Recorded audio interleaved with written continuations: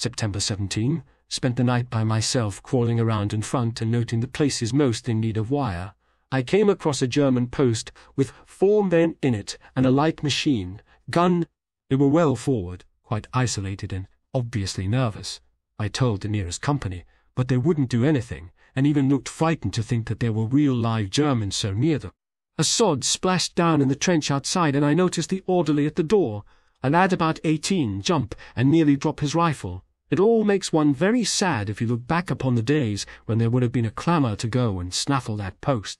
And this is the division which captured and lost one village seven times on one bloody day, and finally held it against all attacks with a fifth of its effectives on their feet, September 18. The men went back into reserve billets today, but I stayed on with the relieving section. The ground is beginning to dry again, and life becomes more pleasant. There is great aerial activity, and the Hun shoots very much on our roads and back areas. Surely we are not preparing a stunt. September 19. Received orders to return to reserve billets as we are going out of the line. Spent a busy day handing over work and packing up as the whole company moves tomorrow. September 20, trek to our new billets in reserve, which are almost out of the war. Even the 60 pounders are well in front of us. Spent a quiet day making cover for the men, rigging up horse lines, and generally settling down. There is more billeting accommodation than we have seen for months, and greatest joy of all, we can sleep in our pajamas. September 21. Apparently there is some kind of a stunt coming off, because we have instructions to rest the men as much as possible and give them an easy time. Accordingly, we do a little drill, paint our transport, clean rifles and ammunition, overhaul explosives, etc., etc., etc. There is some fascination about this war game, some inexplicable grip which it has over us. In spite of everything we have gone through, there is, once more, a thrill of expectation in the air, and the men seem keener, as though looking forward to something. No one could hate war more than I do, and yet I would be bitterly disappointed if sent on leave tomorrow. And if we, of all men, can still feel moments of exhilaration, can there ever be a League of Nations? September 22. The usual instruction work and overhauling of equipment.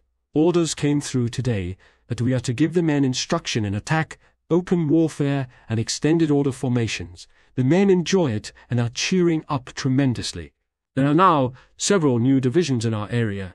Guns are coming forward and more troops arrive every day, all of them apparently from the south. They seem fresher and more confident than our own men, but they have already had the experience of driving Huns before them. We, on the other hand, have been fighting a losing fight with our backs to the wall for over seven months. A lot of kilted troops arrived today, September 23, had the men out all day practicing attack formation. It is hard to believe that these fiercely rushing groups of men are the same troops who were fought to a standstill at Kemmel and held that blood-soaked line with such dogged fatalism through the weary summer. And after two or three days' rest, they are expected to go forward again. A man must feel proud, September 24, training hard, in spite of high hopes dashed before. We seem as keen as ever to make another effort. The atmosphere seems charged with electricity. More troops are pouring in, and the broad gauge railway is up nearly as far as our billets. Was recommended again for an MC, these time due to appear in the King's Christmas honours list, September 25. We are still without orders, but the attack must be near at hand now expectation and excitement. September 26. Received preliminary orders that day, and I will take a section each and join the artillery brigades to make roads and bridges for them in the advance. Two sections remain in reserve under Cooper. Attack before dawn on the 28th. Went up to the brigade to arrange details and went to bed on return. Roused after an hour's sleep to go out with a section to repair two forward bridges near the front line before daybreak got about 20 men and miscellaneous material onto two pontoon wagons, and started out in drizzling rain. I sat in the front of the first wagon, and as we lumbered off into the dark, I fell into a sort of reverie.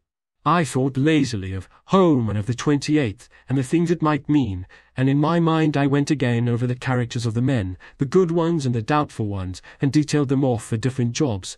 These and a thousand other thoughts wandered idly through my mind, punctuated by the jolting of the wagon and the barking of the eighteen-pounders. Then the men began to sing, very quietly and sweetly, and the rise and fall of their voices seemed to add some special significance to the night. We made good progress over the bad roads, stopping occasionally to check our way or adjust a girth. Now they were singing Annie Laurie, and I heard Garner say damn under his breath. I asked him what was the matter with them tonight, and he said, Dunno, sir, but I wish they wouldn't sing like that. The rain had developed into a heavy Scotch mist which swallowed up the lead driver and the mounted corporal. I shivered under my coat and felt unutterably lonely and sad. At last the wagons stopped, and we went forward on foot towards the work. We bridged three trenches and then came to the main job, a fifteen-foot span across a swollen beek, and not more than four hundred yards from the German lines. For about an hour the work went quietly and well, and we got an arch across the stream in the form of an old French steel shelter. Suddenly there was a short, fierce whine, a crash, and a livid burst of flame right in the party. Three more followed almost instantaneously, and then for a second, an awful silence. Someone said Christ, and began to cry, gently. Five men were killed, three of them practically missing, and three badly wounded. By a miracle the work was practically undamaged. We took the casualties to the wagons and returned to the job. How the men worked there again I shall never know, but they did, and the bridge was across an hour before dawn. The suddenness of the shock has knocked my nerves to pieces, and even as I write my hand trembles. Looking back now, I can see something unnatural in the whole of that ride in the pontoons. Little details were too impressive, and there was an almost unhuman beauty in the way they sang that song. I am sure that some of those men had a vague premonition of what was coming. September 27. Lay down for a few hours after we got back, but was unable to sleep. At midday I took nose. Two and three sections to Ford billets at Pigsty Farm, and at 5 p.m. No, Free Section moved out again to join their brigade. No, Free Section moved out again to join their brigade. The company transport and reserve sections arrived about 9 p.m. Major and I had a final talk together, and I turned in about 11 p.m. I was nervous and excited, and although very tired, slept but little. September 28. No, two section breakfasted at 2.15 a.m. and were ready on the road at 3.30. Whilst I was inspecting them, the barrage started on our left for the Belgian attack, and the northern sky was bubbling with light. We reached Brigade HQ at the chateau about 5.15, and at 5.30 our barrage started and the front-line troops went over.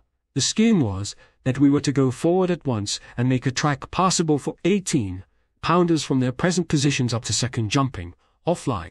They were expected to be there about noon, and would then be in a position to support the further advance of the infantry. Everything depended on getting the field guns forward to support the second attack. I left the transport at the chateau under the corporal, and led the men forward towards a half-dried-up canal, which was the first break in the road. It was raining heavily. It soon became apparent that the Germans were maintaining a barrage on this side of the canal, and as time was against us, we had got to go through it. It looked rough and ugly, and the men were looking at each other.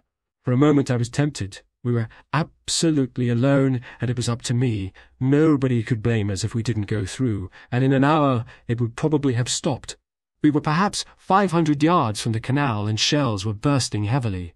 There was no cover, and at times the canal banks were obscured by the fumes and smoke from the bursts. Something outside a man takes hold of him at these times, and tells him what to do. In half a minute I was calmly saying, Come on, and the men were following in single file, about ten paces from man to man. I thought we should never get across. We tried to run, but we kept sticking in the mud and bunching together, just like a nightmare. Once or twice I looked round, and the men were grand. Two fellows were hit, and the others dragged them across. Then a third went down and was picked up by the two behind. Eventually, we were under the shelter of the canal bank with one man killed and two wounded. It was great, and after that I felt we could do anything. By now we were soaked to the skin, but bunches of prisoners were coming back and the worst seemed to be over. We worked steadily on the roads under fairly continuous shell fire, and by 10 a.m. the track was completed. After this, the German shell fire weakened as the advance went forward, and his guns were either taken or forced to withdraw. The men were worn out and literally covered with mud, so I withdrew to some old dugouts in the canal bank. A message was sent for the transport to come forward and another one to the company for rum. The men had just lit fires and were beginning to dry themselves when I received a message that the guns had reached their destination, but our further help was wanted at once. At 11.30, the section moved forward again, and by 2 p.m., the whole brigade were standing to for action in their new positions. The division moved up into line during the afternoon, and the advance pushed on. White skater Messines and the Warneton line are reported captured. At 4 p.m., the section returned to the canal, awaiting further orders. The brigade commander personally thanked me for the day's work. At 4.30 I received news that the transport was stuck somewhere behind us, but they were trying to get the limber forward with six horses in it instead of the normal two. The tool cart had been abandoned. Eventually the limber arrived, and then I sent four horses back for the tool cart, which arrived about 6.30 via Ypres. The roads are in a terrible state and will do more than the Huns to hold us up. At 7 the men had a meal, the first since 2A, this morning, and after that turned into a more than well-earned rest. I went over to see the colonel and learnt that they are pushing on over the hills and Comines is to be captured too, tomorrow. Everyone is delighted. The show has been a great success, and casualties are light in comparison with the results. The only trouble is the mud, with which we are literally covered from head to foot. September 29. Our rations arrived about 5 a.m., but no forage for the horses, and we were unable to move forward in consequence. My biggest trouble is going to be to keep in touch with supplies and water during this nomadic life. Roads were reported passable as far as the front, so I left the section standing to under the sergeant and rode off to find the company. I hunted about all morning and found them at last at the old place, but just ready to move off. Arranged to draw rations direct from the company each day with my own limber. I took two nose bags of corn back with me on my mare, gave the limber horses a feed when I reached the section, and then sent them back for rations. Somehow or other, the company has heard some very highly coloured accounts of our passage through the barrage on the 28th. At 2 p.m., I rode forward with an orderly and visited the brigade and all battery. Heavy rain set in again, and as everyone seemed fairly comfortable and there was no accommodation forward, I decided to spend another night at the canal. The road is blocked with traffic from morning till night, and I am afraid it will break up badly if the rain continues. The whole show depends on that one. Blessed road, and apparently it is going to be my job for two or three days more until the course troops can get up. The brigade was in action when I reached them, and a stiff fight was going on around the last ridges. The Huns are sticking a bit, and a fierce counter. Attack had just been driven back. Rifle and machine. Gunfire was very intense. I saw a lot of Hun dead about the roads and a few of our fellows. The Huns have left a lot of guns behind and should be fairly hard hit. It was dark when I got back, and the horses could hardly crawl along. Rations and forage came up shortly afterwards, so we turned in and had a good night's rest. September 30. Heavy rain all last night. At 8 a.m. I sent two orderlies up to brigade and my groom back to the company to change my mare. She was completely exhausted, Pending receipt of orders, we rigged up a shelter for the horses, as they were shivering badly, and I began to be frightened for them. The poor beasts are caked with mud, and even their eyes are hardly free from it. At noon, received orders to go forward as early as possible, so I sent half the limber back for rations, and moved up with the section. After a really terrific struggle, we got as far as the batteries and managed to find a bit of cover in some old German concrete dugouts worked till dark on the road, and then started to fix things up for the night. The dugouts were in the middle of a swamp, about 500 yards from the road, and in the dark, it took us three quarters of an hour to reach them. I had to give up all idea of getting the horses across, and finally found a place where they could stand about a mile from the dugouts. The drivers were quite worn out, so we had to mount a stable guard of sappers, with instructions to move the horses every hour to prevent them sinking in the mud. It is still raining, bitterly cold, and I can't understand how the poor beasts live. The wagons are nearly axle deep. Shortly after midnight, I had everyone settled and then crawled, literally, into my own shack. It is an old Boche concrete place and stinks like hell. There are two wooden bunks in it, but it is dry. My man lit a fire on the floor, and we warmed up some old tea in my shaving mug. I was chilled to the bone, and there was nothing to eat, but I shall always believe that that tea saved my life. There was no room for officer and servant there, just two very weary men. We sat on either side the fire drying our socks, and the smell mingled with the fetid odours of the dugout. Our eyes grew red and tearful with the smoke, which eventually drove us to the uninviting boards, where we slept like the babes in the wood. Several times during the night I woke up shivering with cold, and the clammy clothes sticking to my skin, but We were over the hills and I would not have missed that night for all the gold in Africa.